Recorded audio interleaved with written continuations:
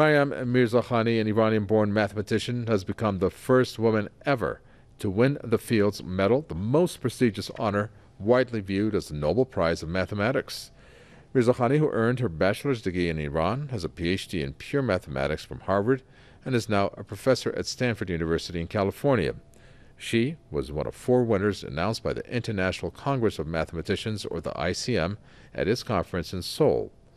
The ICM has, in a statement, hailed the 37 year old Iranian mathematician, saying that she embodies a rare combination of superb technical ability, bold ambition, far reaching vision, and a deep curiosity.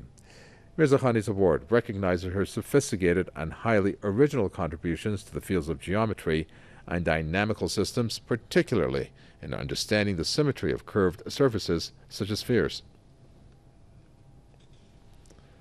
Well, Mirzakhani has spoken to Press TV about how she came to win this award. Let's listen to what she had to tell us. Congratulations on your award. You're the first woman to win what's the equivalent of the Nobel Prize in mathematics.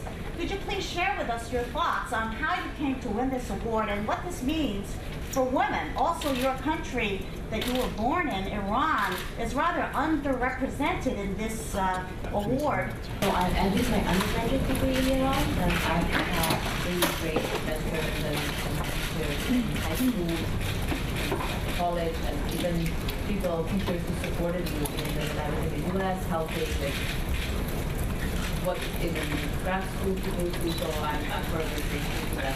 And I think actually there are many Iranian mathematicians, and in, in Iran or different uh, other places.